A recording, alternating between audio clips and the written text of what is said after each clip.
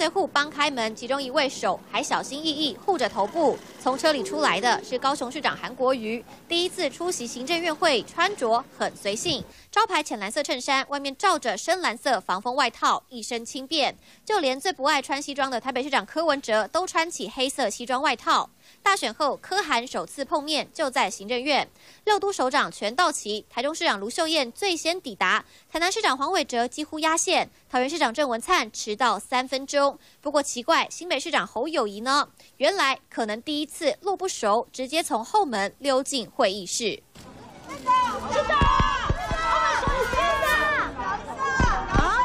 原本安排受访的侯友谊和韩国瑜、卢秀燕组成新复仇者联盟，同时走出会场闲聊后一一上车。而柯文哲始终如一，一个人。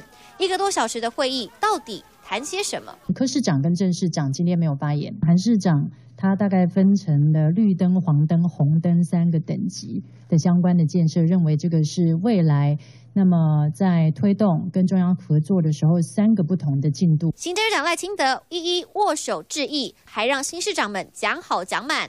赖清德承诺市长换人当，预算不会变，但这可能是他倒数几次行政院会。从台南一路追随的国发会主委陈美玲喊出同进退。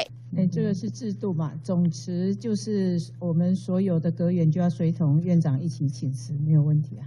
阁员代退，新市长们行政院会出体验，迎新送旧，意味浓厚。三立新闻陈觉张慧启云小组谈不到。